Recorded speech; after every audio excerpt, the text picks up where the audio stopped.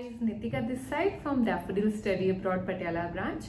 Uh, ਅੱਜ ਅਸੀਂ ਗੱਲ ਕਰਾਂਗੇ ਕੈਨੇਡਾ ਦੇ ਵੀਜ਼ਾ ਦੀ ਨਿਊ ਅਪਡੇਟਸ ਬਾਰੇ uh, ਮੈਂ ਤੁਹਾਨੂੰ ਦੱਸਾਂਗੀ ਕਿ VFS ਕਿਹੜੀ ਕੰਟਰੀਜ਼ ਦੇ ਵਿੱਚ ਓਪਨ ਹੋ ਗਏ ਨੇ ਐਂਡ ਕਿਹੜੀ ਕੰਟਰੀਜ਼ ਦੇ ਵਿੱਚ ਸੂਨ ਓਪਨ ਹੋਣ ਵਾਲੇ ਨੇ ਮੋਰ ਓਵਰ ਐਮਬੈਸੀ ਦੇ ਵਿੱਚ ਜਿਹੜੇ ਵੀ ਵੀਜ਼ਾ ਹੁਣ ਲੱਗਣਗੇ ਉਹਨਾਂ ਦੇ ਕੀ ਮੇਜਰਸ ਹੋਣਗੇ ਉਹਨਾਂ ਦੇ ਕੀ ਸਟੈਪਸ ਹੋਣਗੇ ਕੈਨੇਡਾ ਨੇ ਕੀ ਕੀ ਡਿਸਾਈਡ ਕੀਤਾ ਹੈ ਕਿ ਜਿਹੜੇ ਸਟੂਡੈਂਟਸ ਇੱਥੇ ਆਣਗੇ ਤੇ ਉਹਨਾਂ ਨੂੰ ਕਿਵੇਂ ਅਸੀਂ ਸੇਫਟੀ ਮੇਜਰਸ ਨਾਲ ਐਕਸੈਪਟ ਕਰਨਾ ਹੈ ਤੇ ਜਿਹੜੇ ਸਟੂਡੈਂਟਸ ਆਲਰੇਡੀ ਵੀਜ਼ਾ ਲੈ ਚੁੱਕੇ ਨੇ ਉਹਨਾਂ ਲਈ ਕੀ ਸੋਚਿਆ ਹੋਇਆ ਹੈ ਤੇ ਆਨਲਾਈਨ ਕਲਾਸਿਸ ਦੇ ਬਾਰੇ ਕੀ ਸੋਚਿਆ ਹੈ ਐਂਡ एवरीथिंग ਸੋ ਅੱਜ ਦੀ ਮੋਟਿਵ ਜਿਹੜਾ ਇਹ ਰਹੇਗਾ ਕਿ ਤੁਹਾਨੂੰ ਜਿਹੜੀ ਪਿਕਚਰ ਹੈਗੀ ਹੈ ਉਹ ਕਲੀਅਰ ਕੀਤੀ ਜਾਵੇ ਕਿ ਤੁਸੀਂ ਆਪਣਾ ਪ੍ਰੋਸੈਸ ਸਟਾਰਟ ਕਰ ਸਕਦੇ ਹੋ ਜਾਂ ਨਹੀਂ ਕਰ ਸਕਦੇ because there are a lot of students ਬਹੁਤ ਸਾਰੇ ਸਟੂਡੈਂਟਸ ਇਦਾਂ ਦੇ ਨੇ ਜਿਹੜੇ ਵੇਟ ਕਰ ਰਹੇ ਨੇ ਕਿ ਅਸੀਂ ਕਦੋਂ ਆਪਣਾ ਪ੍ਰੋਸੈਸ ਸਟਾਰਟ ਕਰੀਏ। Alright so first of all ਜਿਹੜੇ ਕੈਨੇਡਾ ਦੇ VFS ਸੈਂਟਰਸ ਨੇ, ਉਹ 23 ਕੰਟਰੀਜ਼ ਦੇ ਲਿਸਟ ਆਈ ਹੈ। ਉਹ ਤੇ ਓਪਨ ਹੋ ਚੁੱਕੇ ਨੇ। ਉਹ ਵੀ ਕੁਝ ਸਿਟੀਜ਼ ਦੇ ਵਿੱਚ। ਬਟ ਉਹ ਜਿਹੜੀ 23 ਕੰਟਰੀਜ਼ ਹੈਗੀਆਂ ਨੇ, ਉਹ ਉਹ ਕੰਟਰੀਜ਼ ਨੇ ਜਿੱਥੇ ਜਿਹੜੇ ਕੋਵਿਡ-19 ਦੇ ਕੇਸਿਸ ਹੈ, ਉਹ ਆਲਮੋਸਟ ਨਾ ਦੇ ਬਰਾਬਰ ਹੋ ਚੁੱਕੇ ਹਨ ਜਾਂ ਫਿਰ ਤੁਸੀਂ ਕਹਿ ਲਓ ਕਿ ਉੱਥੇ ਕੰਟਰੋਲ ਹੋ ਚੁੱਕਿਆ ਹੈਗਾ ਤਾਂ ਕਰਕੇ ਉੱਥੇ ਓਪਨ ਹੋਏ ਨੇ। ਬਟ ਜਿਹੜੇ ਓਪਨ ਹੋਏ ਨੇ ਉਹ ਵੀ ਪੂਰੇ ਸੇਫਟੀ ਮੇਜਰਸ ਨਾਲ and everything is like you know ਸਾਰਾ ਕੁਝ ਗਲਵਸ ਪਾ ਕੇ ਆਪਣਾ ਮਾਸਕ ਪਾ ਕੇ ਐਂਡ एवरीथिंग ਉਹ ਸਾਰਾ ਕੁਝ ਪ੍ਰੋਸੈਸ ਆਊਟ ਦੇ ਵਿੱਚ ਹੋ ਰਿਹਾ ਹੈ ਉਹ ਕੰਟਰੀਜ਼ ਜਿਹੜੀਆਂ ਹੈਗੀਆਂ ਨੇ ਕੁਝ ਕੰਟਰੀਜ਼ ਦੇ ਮੈਂ ਨਾਮ ਤੁਹਾਨੂੰ ਦੱਸ ਦਿੰਨੀ ਆ Iraq Israel Bahrain Japan Italy China the Netherlands Dubai and many more ਮੈਂ ਤੁਹਾਨੂੰ ਇੱਕ ਲਿਸਟ ਦਿਖਾ ਦਿੰਨੀ ਆ ਉਹਦੇ ਵਿੱਚ ਸਾਰੀ ਕੰਟਰੀਜ਼ ਮੈਂਸ਼ਨ ਨੇ। ਬਟ ਉਹਦੇ ਵਿੱਚ ਆਪਣਾ ਇੰਡੀਆ ਨਹੀਂ ਹੈਗਾ। ਇਟ ਮੀਨਸ ਇੰਡੀਆ ਦੇ VFS ਹਜੇ ਓਪਨ ਨਹੀਂ ਹੋਏ।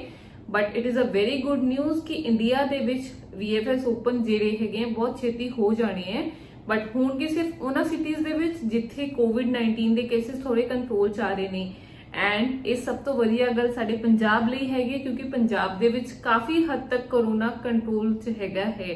ਮੋਸਟਲੀ ਜਿਹੜੇ VFS ਸੈਂਟਰਸ ਹੋਣਗੇ ਜਲੰਧਰ ਵਾਲੀ ਸਾਈਡ ਜਾਂ ਜਿਹੜੇ ਪੰਜਾਬ ਏਰੀਆ ਦੇ ਰੀਜਨ ਦੇ ਵਿੱਚ ਪੈਂਦੇ ਆ, ਉੱਥੇ ਓਪਨ ਹੋ ਜਾਣਗੇ ਆਮ ਸ਼ੋਰ ਜਲੰਧਰ ਵਾਲਾ ਤਾਂ ਫॉर ਸ਼ੋਰ ਓਪਨ ਹੋ ਜਾਏਗਾ। ਚੰਡੀਗੜ੍ਹ ਵਾਲਾ ਵੀ ਓਪਨ ਹੋਣ ਦੇ ਚਾਂਸਸ ਹੈ but Delhi and Mumbai may be ਉਹਨੂੰ ਥੋੜਾ ਟਾਈਮ ਲੱਗੇਗਾ।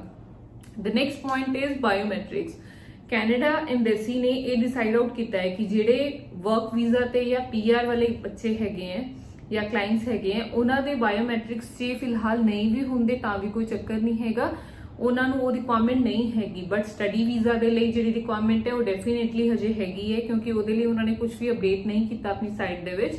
ਐਂਡ ਉਹ 90 ਡੇਜ਼ ਦੀ ਹੀ ਹੈ ਕਿ ਤੁਸੀਂ ਆਪਣਾ 90 ਡੇਜ਼ ਦੇ ਵਿੱਚ ਆਪਣਾ ਬਾਇਓਮੈਟ੍ਰਿਕ ਜੋ ਹੈ ਦੇ ਸਕਦੇ ਹੋ। ਇੱਕ ਹੋਰ ਸਭ ਤੋਂ ਅੱਛੀ ਨਿਊਜ਼ ਆਈ ਹੈ, ਮੈਂ ਤੁਹਾਨੂੰ ਸ਼ੇਅਰ ਕਰ ਦਿੰਨੀ ਆ ਸਕਰੀਨ ਤੇ।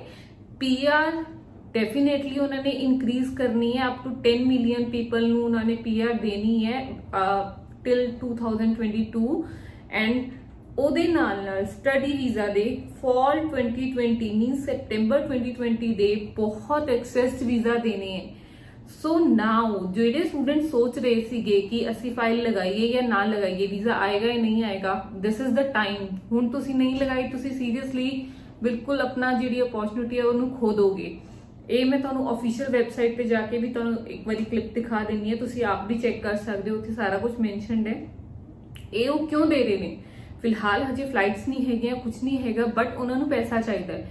पैसा किए आ सकता है स्टूडेंट तो आ सकता है। स्टूडेंट की फ़ीस तो आ सकता है जीआईसी तो आ सकता है। नाउ जीआईसी आई सेफ़ रहेगा एंड फ़ीस जी कॉलेज नएगी कॉलेज ऑनलाइन क्लासेस देगा for the time being this is for sure and this has been decided by the CIC and colleges जो कॉलेजेस हैं, वो ऑनलाइन क्लासेस ही देंगे फॉर द टाइम बीइंग ਸਾਰੇ students ਨੂੰ ਜੋ ਮਰਜ਼ੀ ਕਰ ਲਓ ਤੁਸੀਂ, ਤੁਹਾਨੂੰ ਇੱਕ ਸੈਮੈਸਟਰ ਜਾਂ 2 ਮਹੀਨੇ 3 ਮਹੀਨੇ ਜੋ ਮਰਜ਼ੀ ਇੱਥੇ ਲਾਣਾ ਹੀ ਪੈਣਾ ਹੈ।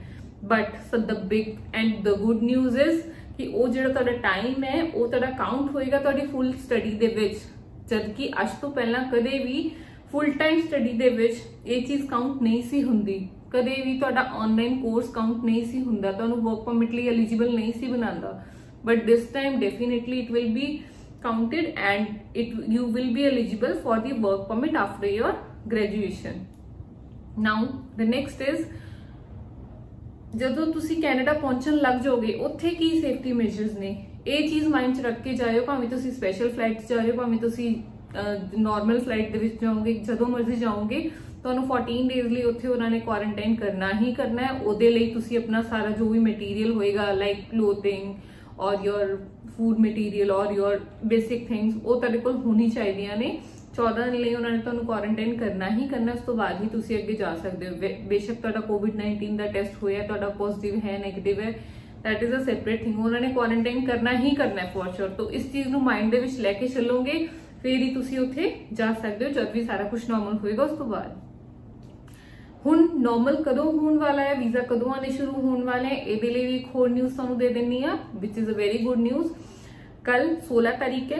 16 ਤਾਰੀਖ ਨੂੰ ਤੁਸੀਂ ਦੇਖੋਗੇ, ਸਵੇਰੇ 10:30 ਵਜੇ ਤੋਂ ਲੈ ਕੇ ਸ਼ਾਮ ਤੱਕ 4:30 ਵਜੇ ਤੱਕ ਉਹਨਾਂ ਦੇ ਫੇਰ ਅਗੇਨ ਸਿਸਟਮ ਮੇਨਟੇਨੈਂਸ ਚੱਲ ਰਹੀ ਹੈ। ਕੈਨੇਡਾ ਦਾ ਜਿਹੜਾ ਟਾਈਮਿੰਗ ਹੈ, ਉਹ 1 AM ਟੂ 7 AM ਹੋਏਗਾ।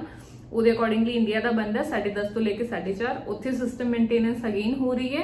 Which is again a good news. Definitely ਪਿਛਲੀ ਵਾਰੀ ਜਿਹੜੀ ਨਿਊਜ਼ ਆਈ ਸੀਗੀ ਉਹ ਟੈਂਪਰੇਰੀ ਵੀਜ਼ਾ ਲਈ ਸੀਗੀ ਕਿ ਜਿਹੜੇ ਵਿਜ਼ਟਰ ਵੀਜ਼ਾ ਹੈ ਉਹ ਕਿਹੜੇ ਕਿਹੜੇ ਆ ਸਕਦੇ ਆ ਪੀਆਰ ਵਾਲੇ ਬੱਚੇ ਜੋ ਆਪਣੇ ਪੇਰੈਂਟਸ ਨੂੰ ਬੁਲਾ ਸਕਦੇ ਸਿਟੀਜ਼ਨਸ ਬੁਲਾ ਸਕਦੇ ਵਗੈਰਾ ਵਗੈਰਾ ਇਸ ਵਾਰੀ ਵੀ ਆਰ ਐਕਸਪੈਕਟਿੰਗ ਕਿ ਸ਼ਾਇਦ ਹੋ ਸਕਦਾ ਹੈ ਕਿ ਸਟੱਡੀ ਵੀਜ਼ਾ ਤੋਂ ਰਿਲੇਟਡ ਹੀ ਕੋਈ ਗੁੱਡ ਨਿਊਜ਼ ਆਏ ਕਿਉਂਕਿ end of the day visitor ਤੋਂ ਉਹਨਾਂ ਨੂੰ ਕੋਈ ਇਕਨੋਮੀ ਨੂੰ ਉਹਦਾ ਬੈਨੀਫਿਟ ਨਹੀਂ ਹੋਣਾ ਬੈਨੀਫਿਟ ਕਿਸ ਤੋਂ ਹੋਣਾ ਹੈ? ਸਿਰ ਸਟੂਡੈਂਟ ਤੋਂ ਸਟੂਡੈਂਟ ਦੀ ਫੀਸ ਤੋਂ ਐਂਡ ਜੀਆਈਸੀ ਤੋਂ।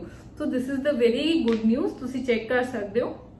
ਐਂਡ ਡੈਫੀਨਿਟਲੀ ਪਲੀਜ਼ ਆਪਣਾ ਪ੍ਰੋਸੈਸ ਸਟਾਰਟ ਆਊਟ ਕਰੋ। ਜਿਨ੍ਹਾਂ ਨੇ ਐਸ ਨਹੀਂ ਕੀਤਾ go for Duolingo because definitely acceptable ਹੈ। ਜਿਹੜੇ ਸਟੂਡੈਂਟਸ ਨੂੰ ਨਹੀਂ ਲੱਗਦਾ ਕਿ ਐਕਸੈਪਟੇਬਲ ਹੈ ਕੁਝ ਵੀ please do call me once ਇੱਕ ਵਾਰੀ ਮੈਨੂੰ ਕਾਲ ਕਰੋ, ਮੈਂ ਤੁਹਾਡੀ ਸਾਰੀ ਕਨਫਿਊਜ਼ਨ ਦੂਰ ਕਰੂੰਗੀ।